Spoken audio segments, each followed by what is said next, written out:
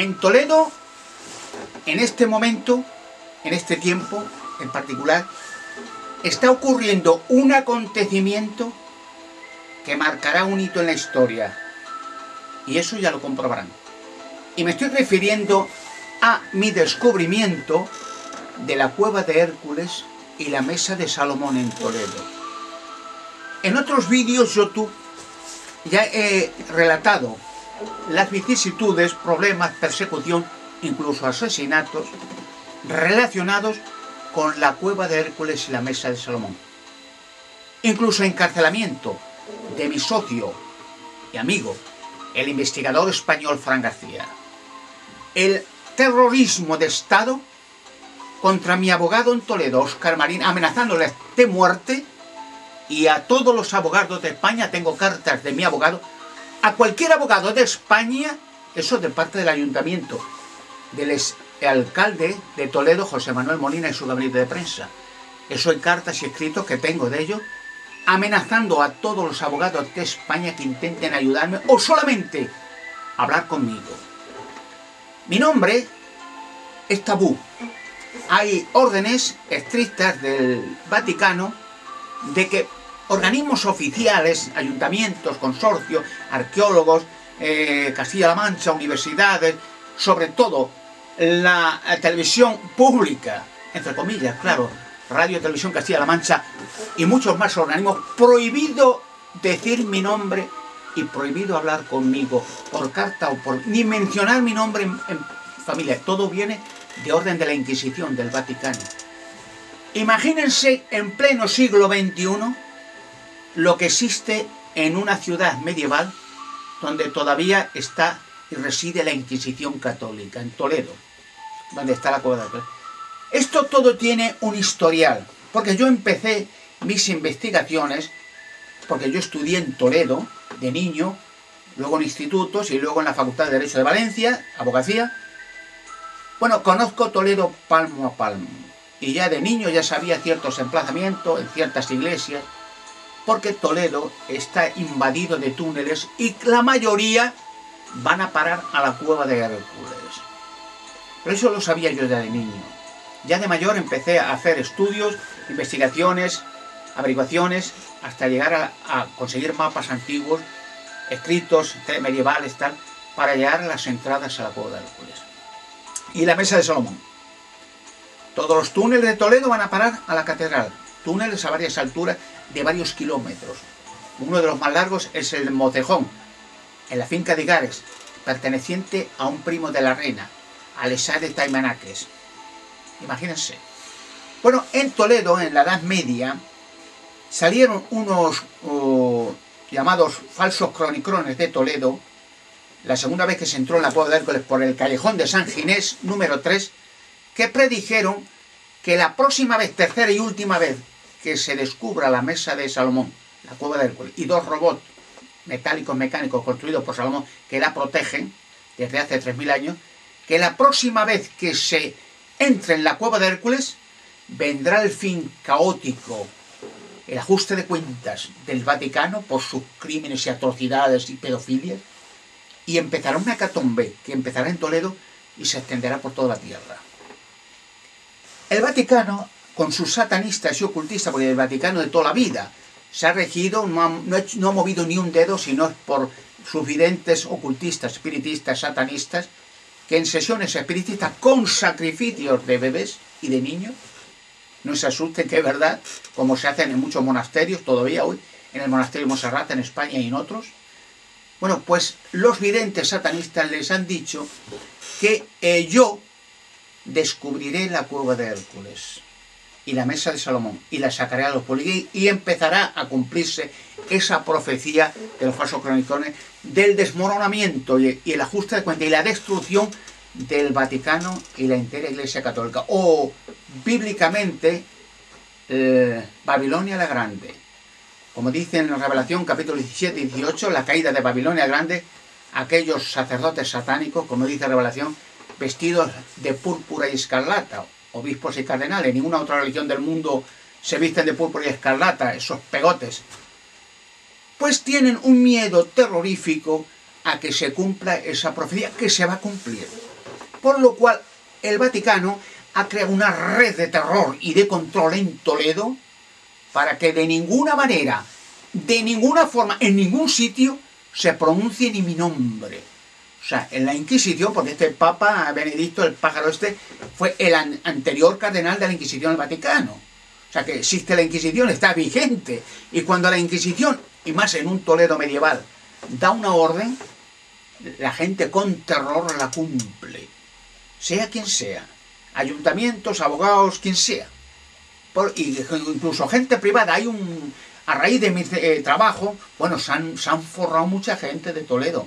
Mucha gente del consorcio ha pedido muchos millones al Estado español que se han embolsado entre unos y otros, millones de euros para supuestamente hacer reformas y ha habido orden del ayuntamiento de tapiar todos los túneles de Toledo de las casas, porque cada casa, casi cada casa en sus subterráneo tienen túneles y muchos de ellos van a parar a la cueva de Hércules.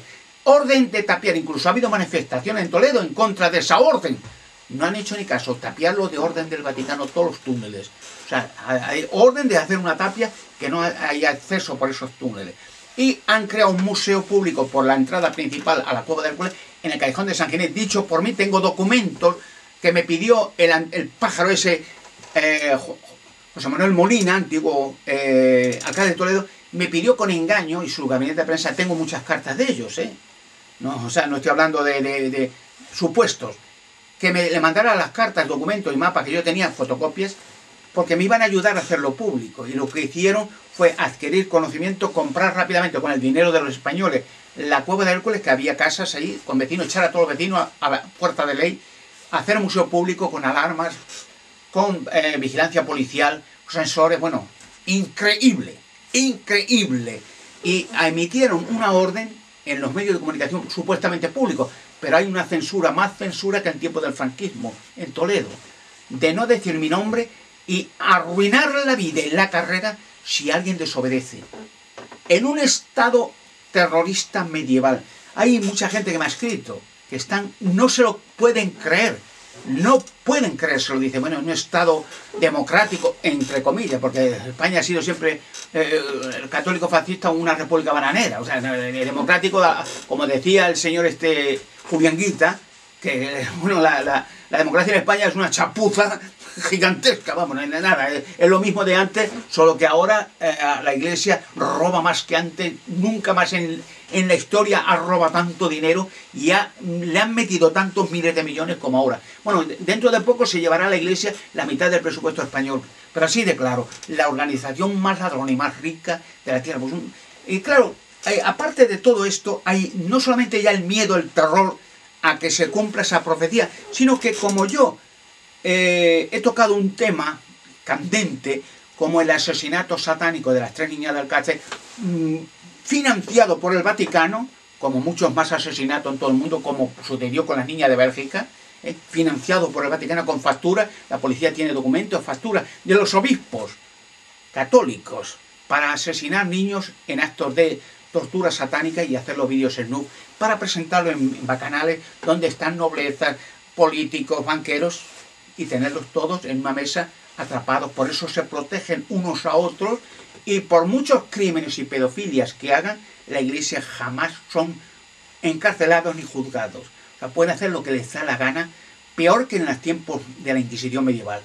Bueno, pues, eh, como decía, como toqué el asunto y he escrito mucho sobre eh, los crímenes de las tres niñas de Alcácer, el crimen satánico, financiado a Anglés y Ricard por los obispos de España. En, en, las cuentas corrientes diferentes que tenía Anglés y Ricard, se encontraron con sorpresa que tenían 85 millones de pesetas, varios pisos, varias casas, varios coches. Ninguno de los dos había trabajado en su vida, los dos en el paro de siempre. Incluso Anglés, fugado de la cárcel, le dejó de Valencia y viviendo tranquilamente con su madre sin que haya busque y captura.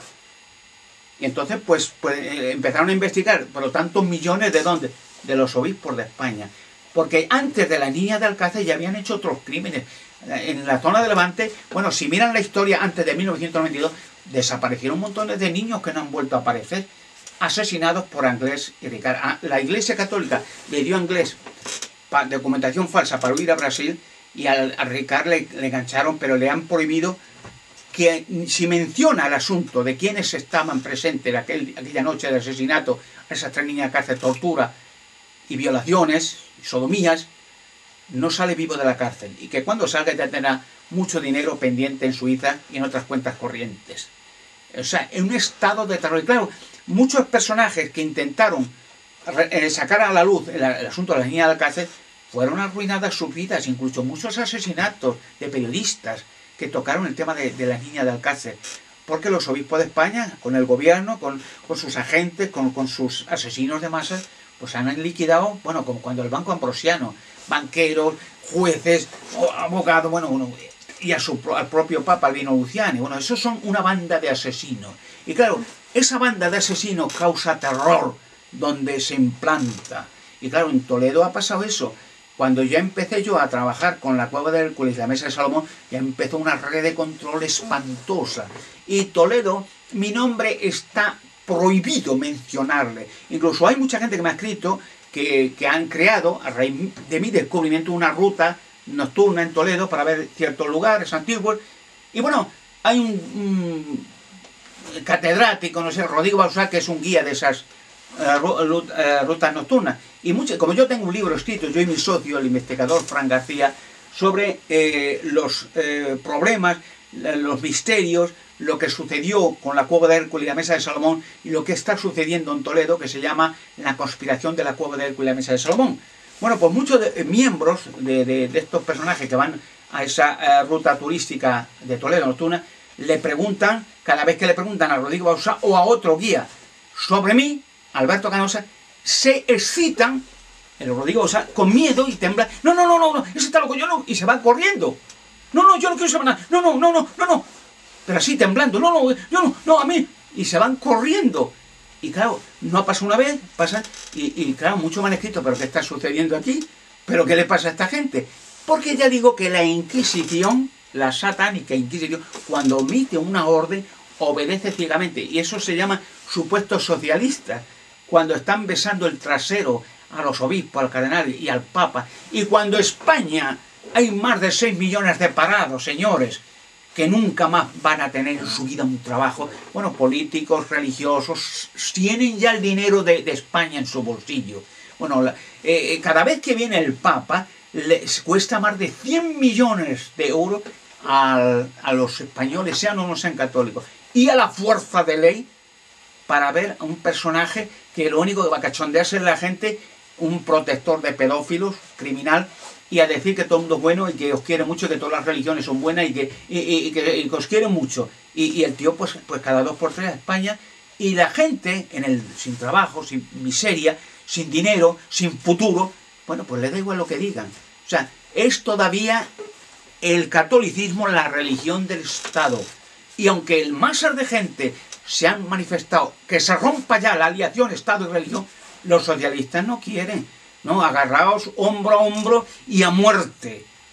Imagínense la cantidad de un millón de muertos costó la Guerra Civil Española, la Santa Cruzada de Liberación Española, un millón de muertos, hombres, mujeres y niños. Y esto, si levantaran los socialistas, jóvenes que murieron fusilados y torturados y, y violados por moros que se trajo Franco para matar gente a España, con el apoyo y la financiación de la Iglesia Católica, si levantaran esos socialistas de su tumba y vieran lo que hacen esta gentuza, se volvían a morir del susto, no se lo podían creer. Es terrible. Una vez una vidente de Toledo, que se llama Yolanda y Cangas, me escribió hace algunos años y me dijo que en una sesión espiritista le habían dicho los espíritus que yo descubriría la cueva del Hércules en la mesa de Salomón y que empezaría una catombe en Toledo y el fin de la Iglesia Católica. Y me dijo si si eso era verdad. Le dije que eso será verdad, pero literalmente, y pronto. Aunque le dije que era muy peligroso tocar esos temas eh, tan escabrosos y tan oscuros. Es increíble que en Toledo, en el pleno siglo XXI, haya un estado de terror inquisitorial, un estado de miedo, un estado de pavor de decir un nombre, Alberto Canosa. Pero esa gentuza criminal sabe perfectamente que voy a por ellos y que lo conseguiré con la ayuda de Dios.